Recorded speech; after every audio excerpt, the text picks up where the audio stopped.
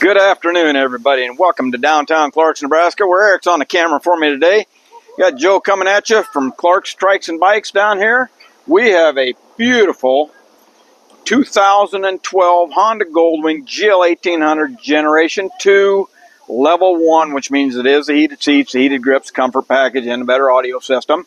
But the biggest thing of all is you notice that it's got a nice shiny new trike kit on it.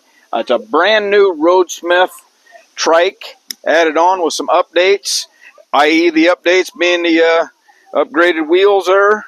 We did put the suspension control in that uh, uses a Honda original suspension. We put the ground effects on it.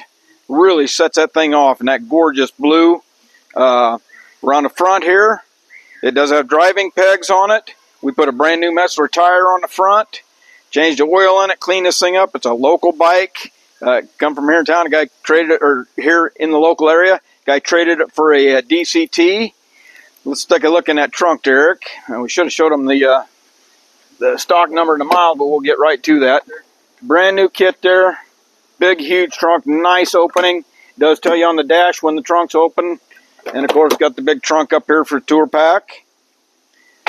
Let's uh, fire this thing up. Look this in. This is unit number 1880. 1880, two keys. One key's never even been in the ignition. I'll fire it up here. This unit has 40,043 miles on it. Beautiful unit, guys. This thing will run for a long time. GL 1800. Stop down here and ask Eric or Joe about this unit. Take it for a test drive. Thanks for watching our video. You folks have a great day out there.